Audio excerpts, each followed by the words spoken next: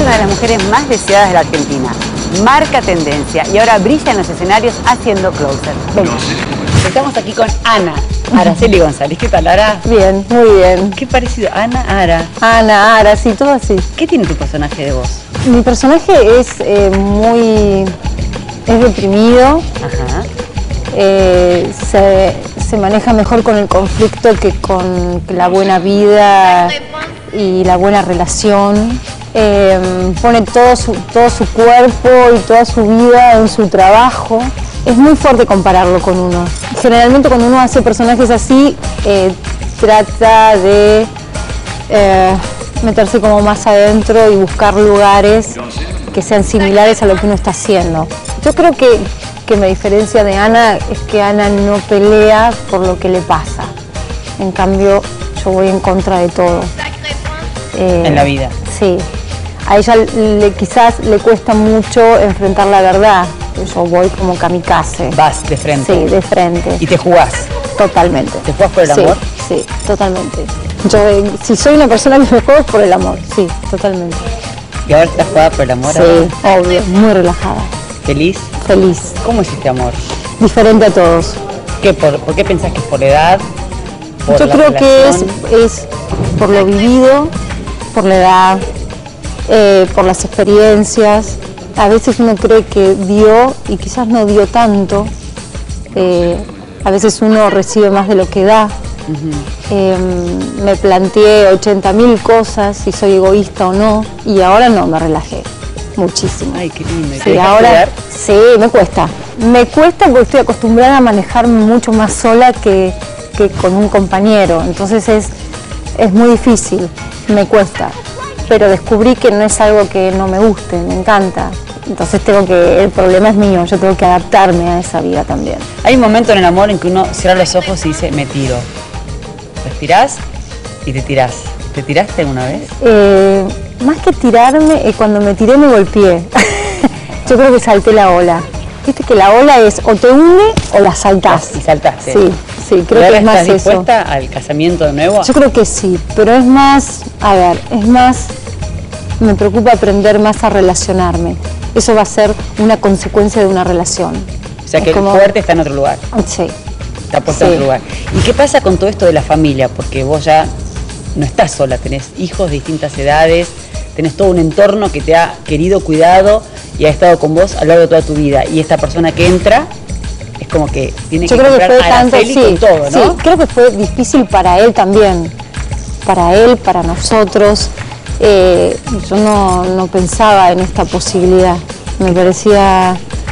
Eso, no. eso es lo que, lo que me doy cuenta, es como que te sorprendió. ¿Te Sí, totalmente. Eh, no, si vos me, me decías que iba a estar con tal persona, no, no, no me lo hubiese imaginado. No, no iba a buscar dentro del entorno, dentro de... Y es una persona con la cual trabajé, que la conozco hace muchos años, que he charlado y nunca nada. O sea, no... ¿Y qué te hizo clic? Que dijiste, opa.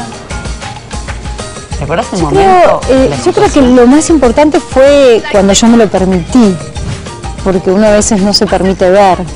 Eh, me permití conocer a alguien y quizás ese fue mi clic, que antes no me lo hubiese permitido. ¿Y qué te gustó de esta persona? Su calidez. Eh, estoy hablando de una persona que es igual que yo, no hay, no hay diferencias, si bien hay diferencias obvias, pero no hay una diferencia que yo no me pueda relacionar. Eh, Es simple, sencillo. Simple, Vos sos sencillo. una persona muy sencilla, muy de barrio, Sí, te gusta tomar mate, sí, me encanta, me encanta. Ahí a, a disfrutar de tu familia y él comparte eso. Muchísimo. Y creo que eso es lo fundamental. Si yo te digo unos nombres, vos me podés decir algo que te venga a la cabeza, Mm. al toque, ¿te animás? Floppy. La primera palabra que te venga. Me salió sol. Toto y es, es mi luz. Toto tiene algo que yo siempre digo, sus ojos es lo más, lo más característico que él tiene. Él nació y, y cuando me miró fue muy fuerte. La primera mirada ¿Lo con ves él. actor a, a Sí, Toto? sí. ¿100%? 100%. ¿Por qué? ¿Por qué lo ves? Porque tiene todo. Tiene La hermana, decía, la hermana decía la otra vez en una nota que, que hicimos acá en Tendencia que, que él subía al escenario y que todo el mundo quedaba cautivado. Eh, lo que está pasando ahora es que a él antes le costaba mucho actuar en el colegio y ahora es como que quiere protagonizar, tener más texto, eh, salió al padre, tener más texto, eh, es como, ya él quiere todo, ¿no? Entonces ya sonamos, vienen por ese lado. Aunque él dice que va a ser jugador de fútbol, sí. ¿Juega bien al fútbol o pata dura? Juega bien, juega bien. Yo le dije que vaya, ¿cómo se llama? El que son todos lindos en España. Ah, Barcelona. No, no, el Real Madrid. Digo, anda ahí. Hoy no trabajas más. Mamá va con capelina, se pone. Ah, igual. Venga. Patea, hijo, hijo. Nada más, ya está, laburé mucho. Ahí tendría que ser el polo, ahora. No, ahí es fútbol. es más. No, yo voy con capelina. Ah, ok, ok. ¿Fabián? Eh, Fabián, compañero. Compañero. Que no es fácil, ¿eh? ¿Te hace reír, Fabián? Nos reímos mucho. Los dos, sí, dos. sí. ¿Aguanta tus llantos? Te diría que en siete meses se aguantó todo. Qué bueno. Si resistió siete meses, vamos para adelante.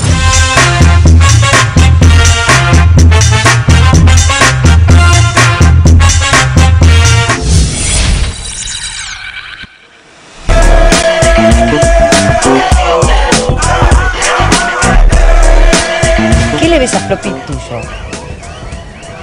Su carácter. Tiene carácter más fuerte, su manera de pararse en la vida, sus valores. La vi una mujer muy fuerte a principios de este año, con mucha fuerza. Soportó algo que una criatura a los 19 no sé si lo hubiese bancado. Y lo, superó como una adulta, o mejor que una adulta. Entonces cuando la veía yo en los reportajes, o la veía en notas, o leía sus notas, no podía creerlo. Sus respuestas, eh, sus pensamientos sobre la fidelidad, el compromiso con el otro, la no traición. Digo, es que hay cosas que uno dice, a veces uno vive cosas y dices, ay, yo no quiero que mis hijos vean ni sientan esto, y a veces que no lo puedes evitar, y cuando lo ven y lo sienten, se manejan mejor que uno, porque algo aprendieron. Yo me acuerdo de todo, todo lo que, por ejemplo, cuando me fui a trabajar en España, que nos fuimos tres meses y ella tenía cinco meses, yo me iba a los castings con ella, todos creían que era mi hermana. Y yo Aparte decía, no, es mi hija, de es mi hija. Yo decía, no, es mi hija, es mi hija. Y me acuerdo que hacía el casting, no tenés un minutito a la que venía atrás. yo te yo hacía el casting todo, y después me la daban a flor, gracias, gracias, chao, chao. Y, y la verdad es que mm, por eso también yo digo flores así. Se bancó muchas, creció conmigo. Yo también crecí. ¿Lloraste A mí me tocó hombro, crecer. Ara? ¿Lloraste en el hombro de tu hija? Sí, y hubo silencios maravillosos con ella. Ahora primero tus hijos y después tu carrera. Primero mis hijos y después nada. Y después nada. Ah, muy bien. nada. ¿Dejaste muchas cosas por ser mamá? No, pero elegí ser mamá. Uno cuando queda embarazado muy joven tiene otra posibilidad. Yo elegí ser mamá. No quise no ser mamá. Ahora pasamos a otro rubro. Cambio de look. ¿Po- ¿Te, puede- te molesta si te hago parar? No. Lo linda que estás. Bueno, Esos soy zapatitos no pueden ser más lindos, Sara. Jean Paul Gaultier. Ah, bueno.